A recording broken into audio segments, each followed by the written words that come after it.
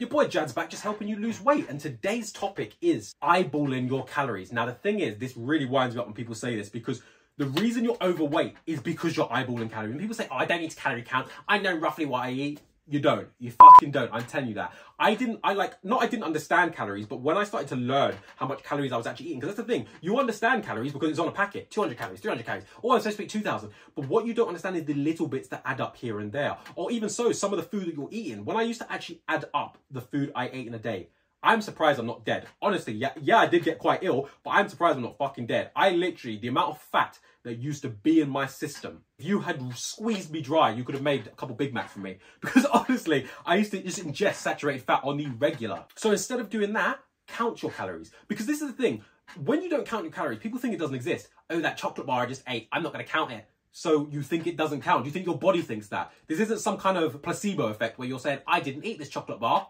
and you did eat the chocolate bar, you will still put on weight. So rather than not know, how about you fucking know? How about instead of thinking, oh, I was healthy today, I did what I was supposed to, and you just completely fucking butchered it and you ate all the shit you knew you weren't supposed to, you had all the extra treats and everything, and then you sit there and look in the mirror and go, oh, I hate my body, I'm, I'm overweight and I don't know what's going wrong. You do know what's going wrong, you just choose to ignore it. If you're sat there eating unhealthy, if you're sat there eating vast quantities of crisps, chocolate, snacks, shit,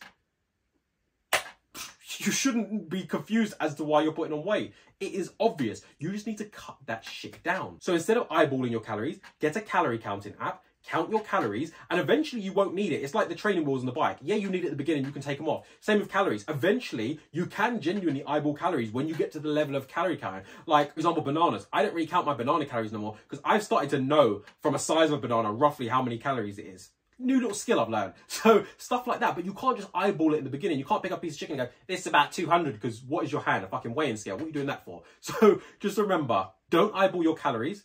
Give your boy a like, follow, subscribe, share whatever platform I'm on. And as always, good luck on your journey and you're welcome.